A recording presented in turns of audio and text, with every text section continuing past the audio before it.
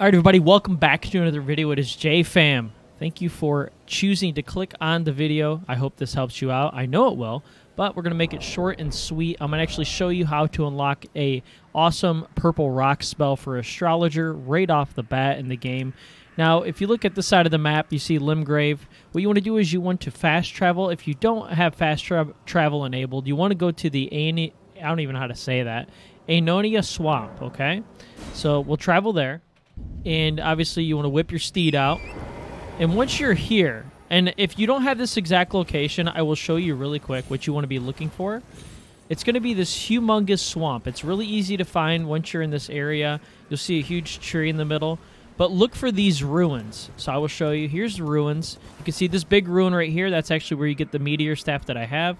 But the spell is inside these ruins here. So I'm going to drop down and actually show you. And we'll use the actual big ruin as a guide to help you so you don't get lost. So all you have to do, so we're going to go to the left, just leave these guys be, you'll be fine on your horse. There's the big ruin, that's where the, the staff is. We just keep straight.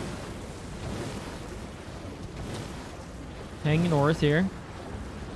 And we're going to hop off our horse, ignore these guys, and we're going to drop down in here. And there will be a chest here after we open the door. And here it is. Here's the spell. The rock sling spell. There we go. And that's how you do it. So if this video helped you out, obviously please consider subscribing to the channel, like the video. Maybe check out some other videos. We've been doing some playthroughs. Other than that, I hope you have a great day.